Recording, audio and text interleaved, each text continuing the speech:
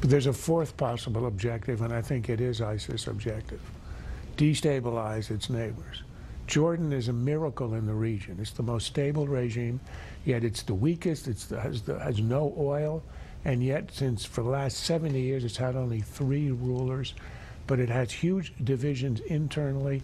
It's got a lot of Muslim brotherhood. It has some ISIS sympathizers, and I think the objective here was to draw Jordan into a war where it was a peripheral player. And this highlights, I think, the danger. We all who worship at the shrine of multilateralism, broad coalitions, bring everybody in.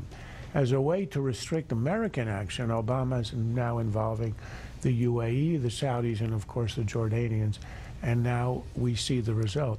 Jordan being drawn into a, a, war, a direct war with ISIS, is not a good thing for us. Jordan will not defeat ISIS on its own. It wouldn't even defeat ISIS, uh, even if it had some coalition partners.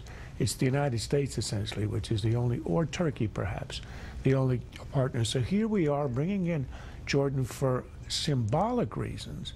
Yet a real pilot is shot down in real time and then executed in this horrible way causing a reaction in Jordan where the king is now on the spot.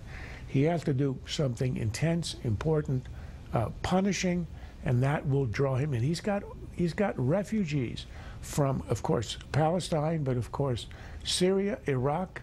He's got a lot of internal dissent, which we have seen over the years.